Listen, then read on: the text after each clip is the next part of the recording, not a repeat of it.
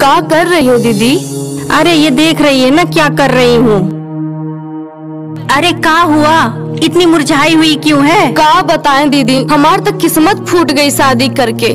जो तुम्हारे देवर है ना उनकी पिचकारी चालू होने से पहले ही फुस हो गई। ये समस्या है क्या? सुन मैं तुझे एक प्लान बताती हूँ। का प्लान है? जरा बताओ।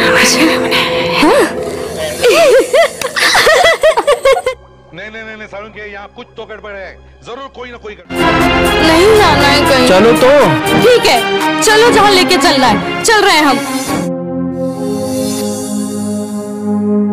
सुनो बहन हम्म तुमको भी भूत होता आ रहा का?